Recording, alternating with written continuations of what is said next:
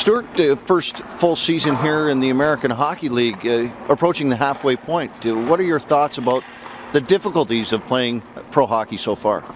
I think uh, it's definitely different. I think uh, you got to come to work every day trying to get better and trying to improve. And um, the guys here are uh, you know a lot more serious because it's a it's a lifestyle and a job now. And um, you know, I'm just trying to match their intensity day in and day out.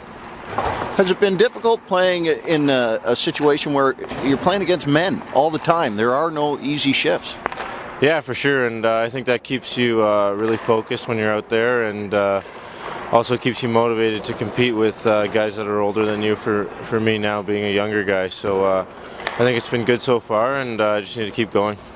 Has the adjustment to travel been difficult?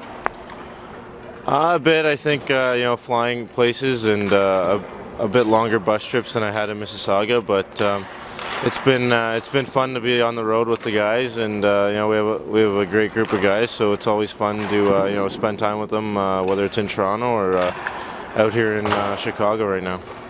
Has been has there any been anything surprising to you about the pro game so far? Um, Nothing too much uh, surprising. I think junior gets you prepared for that. Uh, more of a structured game, and uh, you know teams know how they're going to play. And um, you know Spotter, Gordo, and uh, Kinger have done a great job helping me adjust and uh, uh, doing a great job with the team and making sure we're on the same page. So it's been great that way so far.